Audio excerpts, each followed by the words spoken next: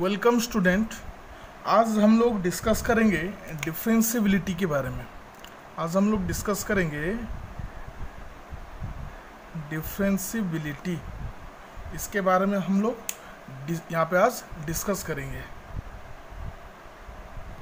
तो डिफ्रेंसिबिलिटी जो है, ये टर्म आता है डेरिवेटिव से। मतलब डिफ्रेंशिएशन से आता है डिफ्रेंशिबिलिटी और डिफ्रेंशिएशन का और एक आ, मतलब होता है डेरिवेटिव तो इसमें हम लोग थोड़ा डिस्कस करेंगे कि डेरिवेटिव चीज़ क्या है और ऊपर से देखेंगे कि कब कोई डिफ्रेंशिएट होता है या फिर डिफ्रेंशिएबल होता है. ठीक है? तो पहले से जो हम लोग को पता है कि y equals to f of x इसके ऊपर थोड़ा आप फोकस करेंगे. कोई भी फ़ंक्शन हो f of x y equal to f of x कोई भी फ़ंक्शन हो एक्स के जगह पे कुछ डालेंगे तो हमको वाई मिलता आ जाएगा। तो इसको हम लोग बोलते हैं ऑर्डर पेयर इसको हम रिलेशन फ़ंक्शन में और एक बार कवर करेंगे। जो ऑर्डर पेयर बोलते हैं, उसको हम टू प्लेन में प्लट करके प्लटिंग करके कुछ कर्व या फिर ऐसा कुछ ग्राफ वहाँ पे हम लोग लेके आते हैं। तो ये वाला ग्राफ जो है, इसको हम अभी कंटिन्यूटी में पढ़ चुके हैं। आपको ऊपर डिस्क्रिप्शन में कंटिन्यूटी के बारे में मतलब ऊपर आई बटन में कंटिन्यूटी के बारे में मिल जाएगा लिंक मिल जाएगा वीडियो का। तो जब कोई ग्राफ बनता है, मान लीजिए ऐसा कुछ ग्राफ बन गया। कोई भी फ़ंक्शन हो ग्राफ बन गया। ये अगर कंटिन्यूस चलता है तो उसको हम कंटिन्यूटी बोलते हैं कंटिन्यूस बोलते हैं जहाँ पे ब्रेक हो ऐसा कुछ ब्रेक हो गया तो उसको डिसकंटिन्यूस बोलते हैं। कहीं अगर यहाँ पे ब्रेक हुआ है तो ये अगर x इक्वल टू यहाँ पे क्या है? x का कोऑर्डिनेट थ्री है तो इसको हम बोलते हैं कि आ, मतलब ये जो ग्राफ है और ये जो फ़ंक्शन है at x equal to three में डिसकंटिन्यूस हो गया है। ठीक है? ये तो हो गई कंटिन्यूस की बात। अब देखते हैं डिफ्रेंशियबिलिटी क्या चीज़ है। अगर कोई फ़ंक्शन को जब हम ट्रेस करते हैं उसका कर्व बनाते हैं टू डी प्लेन में एक्स एक्सिस वाई एक्सिस लेके तो ऐसे कुछ आ गया उसका ग्राफ। यहाँ पे अगर एक यूनिक टेंजेंट बनता है, देखिए यहाँ पे ये टेंजेंट है हम लोगों का, और ये मान लीजिए ये वाला फ़ंक्शन का कर्व है। ये वाला फ़ंक्शन का कर्व है ये। ये वाला, ये कर्व है। ठीक है? तो इसका, इसी पॉइंट में मतलब x इक्वल टू थ्री के जगह पे एक यूनिक टेंजेंट ऐसा नहीं कि दो, चार, पाँच, दस टेंजेंट बना देंगे। बस एक यूनिक टेंजेंट अगर बनता है तो हम लोग क्या बोलते हैं? दिस फ़ंक्शन और ये जो फ़ंक्शन है is differentiable differentiable at x equal to three बोलते हैं हम लोग। सही?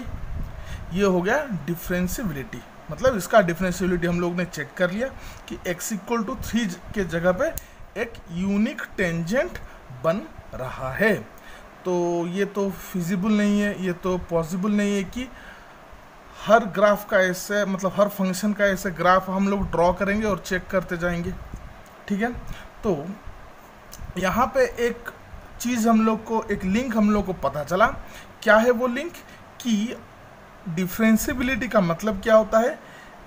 यूनिक टेंजेंट बनाना। ठीक है?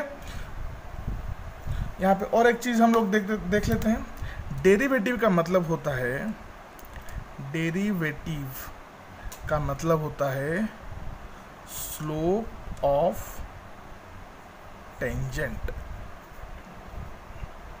Slope of tangent मतलब अगर कोई फ़ंक्शन है, ठीक है, उसका यहाँ पे मैंने क्या किया, एक टेंजेंट ड्रॉ कर दिया, ठीक है तो ये जो टेंजेंट बना है, इसका स्लोप जो होगा, वो होगा इस फ़ंक्शन का डेरिवेटिव ठीक है, जैसे कि हम लोग पैरामेट्रिक फॉर्म में क्वेश्चन डिस्कस किए थे डी मतलब हम लोग को निकालना है d y by d s d x at x equal to four तो हम क्या करते हैं d y by d x निकालते हैं, फिर एक्स के जगह पे फोर सब्सटीट्यूट कर देते हैं। तो ये मान लीजिए अगर फोर है तो यहाँ पे जो टेंजेंट बना है, ये इसको टी वन ले लेते हैं। टेंजेंट जो है टी वन टी वन का स्लोप जितना होगा d y by d x at x equal to four उतना होगा। ठीक है? मतलब डेरिवेटिव का मतलब होता है, कोई भी फ़ंक्शन का डेरिवेटिव का मतलब होता है। अगर हम लोग, ये हम लोग को गिवन नहीं है। X equal to four given नहीं है। बस हमको d y by d x निकालना है। तो d y by d x का मतलब होता है, अपना वाई जो है हम लोगों का एफ़ ऑफ़ एक्स है, इसका ग्राफ बना लीजिए। एफ़ ऑफ़ एक्स है, इसका ग्राफ बना लीजिए। ग्राफ बनाने के बाद d y by d x का जो निकलेगा, आपका फॉर्मूला आप लोगों को पता होगा चेन रूल वगैरह वगैरह डाल के आपने निकाल दिया। डेरिवेटिव क्या है। तो इसका मतलब क्या बना? इस ग्राफ के किसी भी जगह पे, अगर मान लीजिए ये ग्राफ है इसका y equal f of x किसी भी जगह पे अगर हम लोग टेंजेंट ड्रॉ करेंगे तो उसका स्लोप इस टाइप का आएगा। तो आप पूछेंगे कि भाई यहाँ पे क्या होगा स्लोप तो यहाँ पे आप चेक कर लीजिए एक्स क्या है। मान लीजिए यहाँ पे एक्स है माइनस वन तो जो डेरिवेटिव आया है एक्स के जगह पे माइनस वन डाल दीजिए। ठीक है, ये टेंस टू नहीं है, मैं इसे डाल दिया हूँ, नहीं तो एक काम करते हैं एक्स इक्वल टू लिख लेते हैं। एक्स के जगह पे हम लोग माइनस वन डाल देंगे तो यहाँ पे जो टेंजेंट ड्रॉ होगा, उसका टेंजेंट उसका स्लोप आपको कब मिलेगा? जब आप इसका जो डेरिवेटिव होगा, उसके डेरिवेटिव में एक्स के जगह पे माइनस वन डाल देंगे। सही है? तो अब देखते हैं डिफ्रेंशियबिलिटी का ये फ़र्स्ट पार्ट है। इसके बाद सेकेंड पार्ट आएगा और ये जो फ़र्स्ट पार्ट है, इसमें हम कंसेप्चुअली थोड़ा इसके इसके ऊपर डिस्कस करेंगे। सेकेंड पार्ट में जो बोर्ड के हिसाब से फॉर्मूलाज हैं, उसके ऊपर डिस्कस करेंगे।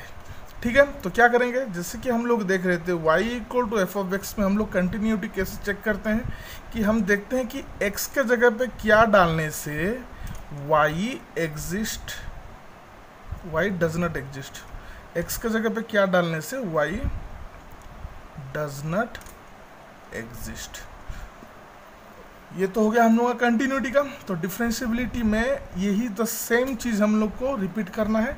हमको क्या निकालना है? अगर y equal to f of x है then we have to find out d y by d x इसको निकालना है। फिर देखेंगे और इसको हम लोग लिख सकते हैं एफ़ डेक्स एक्स कुछ भी आप मान के चलिए। अब देखेंगे कि, अब इसके लिए देखेंगे, ठीक है? एक्स के जगह पे क्या डालने से एफ़ डेक्स एक्स और you can say d y by d x does not exist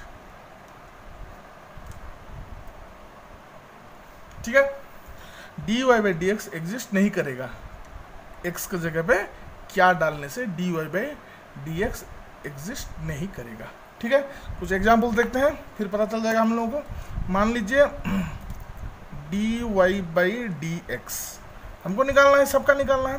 तो पहले, मान लीजिए function y equals to sine x है। तो d y by d x क्या होगा? कॉस एक्स ठीक है?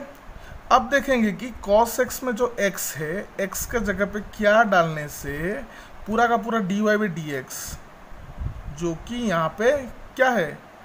कॉस एक्स एग्जिस्ट करता है या नहीं करता है? ठीक है? तो हमें पता है कंटिन्यूटी का जिन लोगों का कॉन्सेप्ट क्लियर है, उन लोगों को पता होगा कॉस एक्स हमेशा एग्जिस्ट करता है एक्स के जगह पे आप कुछ भी रियल नंबर डाल दो, ये एग्जिस्ट करेगा। तो इसका मतलब क्या हो गया? कॉस एक्स एग्जिस्ट कर रहा है। इसका मतलब क्या हो गया? साइन एक्स जो है, अब देखिए कॉस एक्स जो है एक्स के हर कोई वैल्यू पे एग्जिस्ट करता है। तो इसीलिए sine x differentiable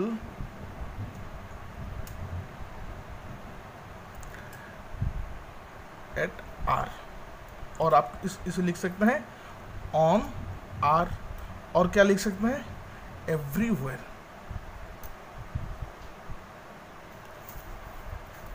ठीक है? इसका मतलब क्या हुआ? ये तो आपने एल्जेब्रिकली चेक कर लिया तो इसका मतलब क्या है? जो साइन एक्स है साइन एक्स का कर्व इस तरह से चलता है। तरह बेंड ऐसे कर्व होकर चलेगा। चलता है। साइन एक्स का कर्व ये हो गया।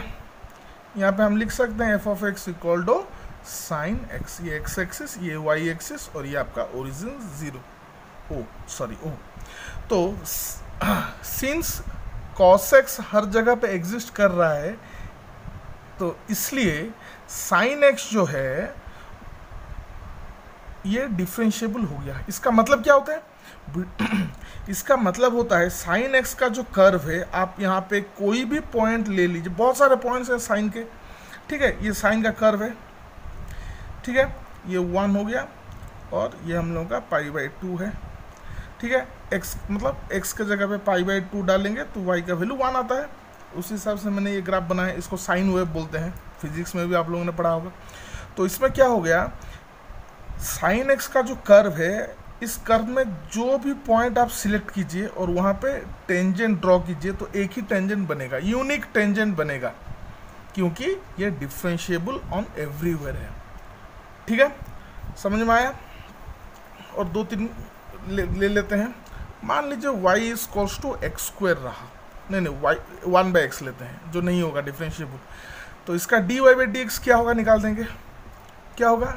इसका मतलब x to the power minus one है। इसका डेरिवेटिव कैसे निकालते हैं? माइनस वन आगे आएगा। X का पावर एक घट जाएगा। तो minus x to the power minus two और minus one by x square ये अब हमको देखना है, अगर इसका डिफ्रेंशियबिलिटी चेक करना है तो इसका डेरिवेटिव जो कि ये है, इसके ऊपर फोकस करना है। ये कब एग्जिस्ट नहीं करेगा? When x equal to zero minus one by x square does not exist ठीक है? ये एग्जिस्ट नहीं करेगा। तो इसका मतलब ये जो वन बाई एक्स है one by x is not differentiable at x equal to zero मतलब एक्स जब ज़ीरो होगा तो ये डिफ्रेंशिएबल नहीं होगा। मतलब इसका जो ग्राफ होता है, इस तरह का होता है ग्राफ यहाँ पर थोड़ा गैप रहता है गैप रहता है ये। एक्स इक्वल टू ज़ीरो के जगह पे ये डिफ्रेंशियबल नहीं होगा। मतलब एट एक्स इक्वल टू ये इसका जो ग्राफ आएगा, उसमें एक्स इक्वल टू ज़ीरो के जगह पे हम यूनिक टेंजेंट ड्रॉ नहीं कर सकते। तो ये रहा आप लोगों का डिफ्रेंशिएबिलिटी चेक करना, जो कि कंसेप्ट है, जो कि थ्योरी है इसका। इसके बाद हम आएँगे, जो हम लोग के टेक्स्ट बुक में रहता है लेफ़्ट हैंड डेरिवेटिव और राइट हैंड डेरिवेटिव चेक करके। उसके ऊपर और थोड़ा इंटरेस्टिंगली ब्रीफ करेंगे। नेक्स्ट टॉपिक नेक्स्ट वीडियो में। तो तब तक देखते रहिए ये सब क्या सब हो रहा है, किस तरह का कॉन्सेप्ट हम लोग को मिल रहा है देखने के लिए। और कुछ भी डाउट हो तो you are with C M C at the rate Gmail dot com में मेल कीजिए। Thank you thank you for learning C M